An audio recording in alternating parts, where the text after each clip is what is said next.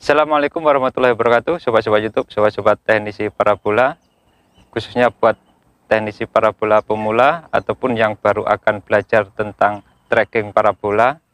Pada video saya kali ini saya akan menunjukkan kepada sobat-sobat pemula Ataupun sobat-sobat yang baru tahap belajar Bagaimana caranya mendapatkan sinyal dari sebuah satelit Khususnya yaitu satelit C-band yang akan saya contohkan di sini ya sobat-sobat ya.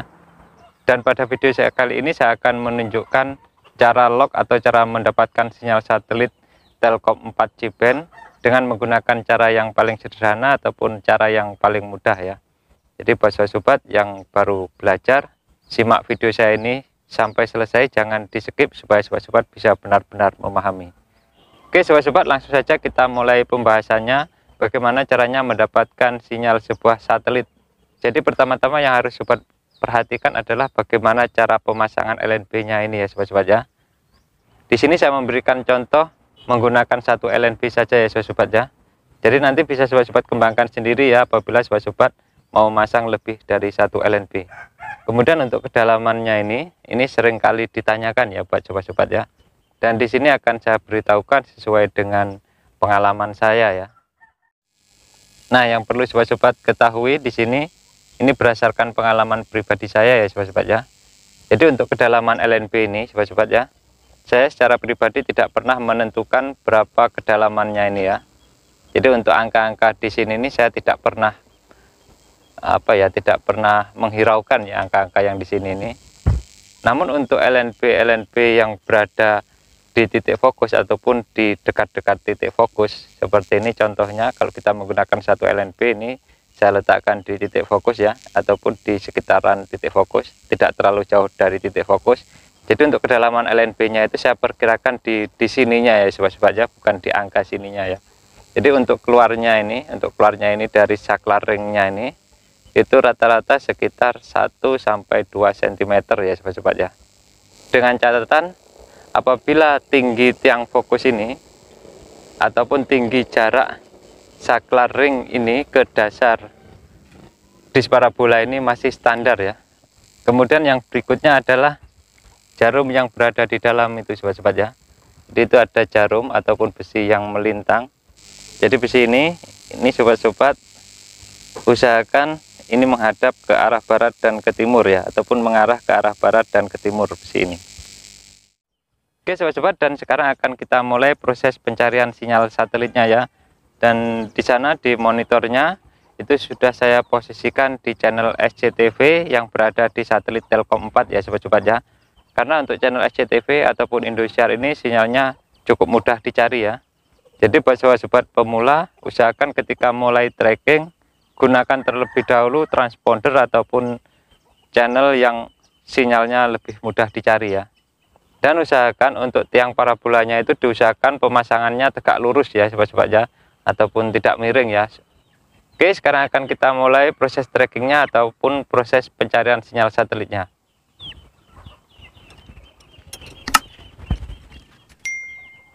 Kita angkat disknya perlahan-lahan ya sobat-sobat ya.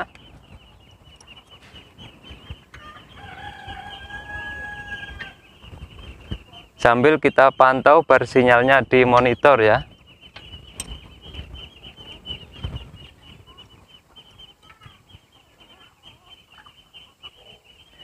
dan satelit Telkom 4 ini berada di posisi 108 derajat ya. Jadi posisi di sini hampir tegak ya sobat-sobat ya.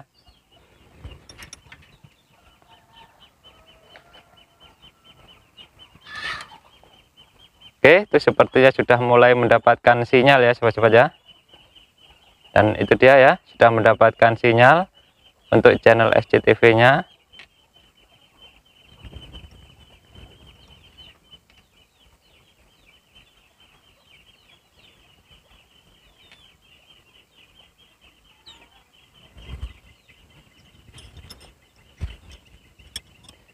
Oke sobat-sobat bisa kita lihat ya dari sini itu channel SCTV nya sudah mendapatkan sinyal sebesar 92% ya.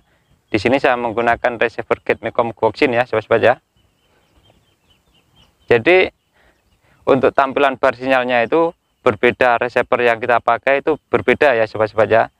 Tidak harus segitu ya. Misalnya sobat-sobat menggunakan receiver merek lain itu tampilan bar sinyalnya ataupun kualitas sinyalnya belum tentu sama ya dengan receiver yang saya gunakan ini ya.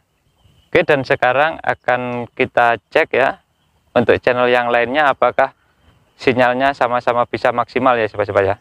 Akan kita cek ke monitornya terlebih dahulu ya. Oke sobat-sobat untuk channel STV di sini kita sudah mendapatkan sinyal sebesar 93% ya. Dan sekarang akan kita cek untuk channel yang lainnya apakah sudah maksimal ya coba akan kita cek channel ANTV karena channel ANTV ini biasanya sinyalnya lebih minim dibandingkan channel-channel yang lainnya ya. Oke itu dia ya channel SCTV nya kita mendapatkan sinyal sebesar 77% ya sobat-sobat ya. Kemudian uh, kita akan cek lagi satu channel lagi dan channel ini juga uh, biasanya sinyalnya lebih minim ya dibandingkan channel yang lainnya yaitu channel TV One ya. Ini dia ya channel TV One ya. Dan akan kita cek oke itu dia ya channel TV One. Kita mendapatkan sinyal sebesar 77% ya sobat-sobat ya. Sedangkan untuk channel yang lainnya ini Kompas TV ini Kompas TV itu dia ya mendapatkan sinyal 97% ya sobat-sobat ya kadang 96% kemudian ini Metro TV Metro TV SD ini ya itu mendapatkan sinyal 93% ya sobat-sobat ya. Kemudian ini net net itu dia ya mendapatkan sinyal 83% ya sobat-sobat ya. Nah, sedangkan ini untuk Trans 7 HD itu dia Trans 7 HD mendapatkan sinyal 81% ya sobat-sobat ya dan sekarang akan kita kembalikan lagi ke sini ke channel ANTV dan akan kita coba kita maksimalkan lagi apakah masih bisa ya sobat-sobat ya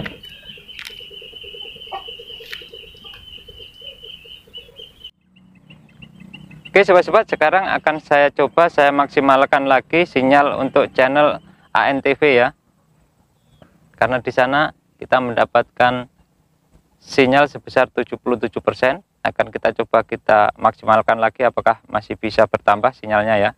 Dan untuk kemiringan di sini untuk kemiringan barat dan timurnya saya rasa sudah pas ya sobat-sobat ya karena tadi kita cari sinyal untuk channel SCTV nya untuk kemiringan barat dan timurnya. Itu ketika kita goyang-goyang itu hasilnya yang paling maksimal adalah pada posisi ini ya. Dan sekarang cara selanjutnya untuk memaksimalkan sinyalnya adalah kita mainkan disk untuk posisi utara selatannya ya sobat-sobat ya. Coba sekarang di sini akan saya dorong ya. Akan saya dorong ke arah selatan ya. Oh itu dia sinyalnya malah drop ya sobat-sobat ya. Artinya tidak mau ini kita dorong ke selatan ya. Kita kembalikan lagi. Dan sekarang akan kita tarik ke utara ya Oke itu dia ya. Ketika kita tarik ke utara sinyalnya bisa lebih maksimal ya sobat-sobat ya. Artinya di sini kurang miring ke utara ya sobat-sobat ya.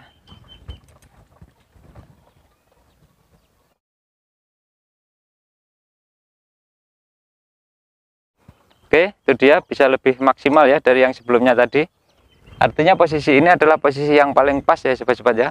Untuk kemiringan utara selatannya ataupun barat timurnya ya dan sekarang akan kita kunci ya. Kita kencangkan murnya ataupun bautnya ya. Supaya parabola ini tidak berubah posisinya.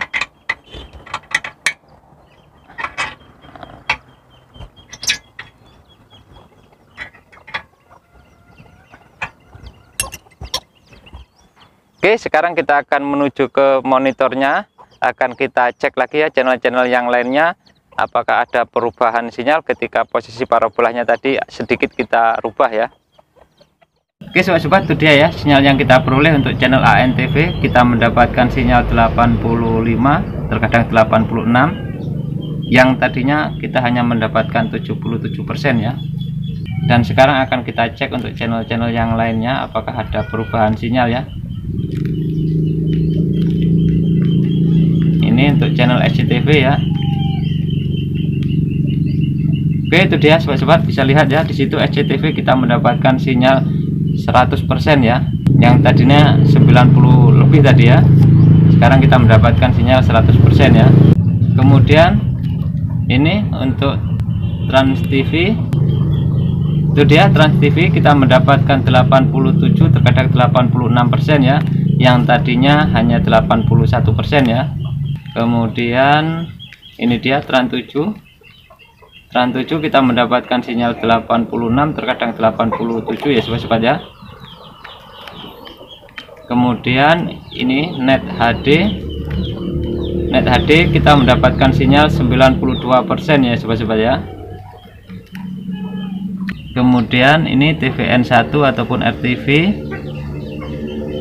kita mendapatkan sinyal 91% ya sobat-sobat ya kemudian ini Cinema Indonesia. Kita mendapatkan sinyal 100% Cinema X. Kita mendapatkan sinyal 100% juga ya. Kemudian Kompas TV kita mendapatkan sinyal 100% ya sobat-sobat ya. Kemudian ini TV One. TV One mendapatkan sinyal 88% kemudian ini Metro TV SD kita mendapatkan sinyal 100% ini Metro TV HD kita mendapatkan sinyal 100% juga terkadang 99 ya. Oke sobat-sobat tadi sudah bersama-sama kita lihat di monitor hasil sinyal yang kita peroleh ya. Jadi seperti itulah hasil sinyal yang kita peroleh. Mudah-mudahan video saya ini bisa bermanfaat Jangan lupa tetap dukung saya dengan like, share, dan subscribe-nya. Wassalamualaikum warahmatullahi wabarakatuh.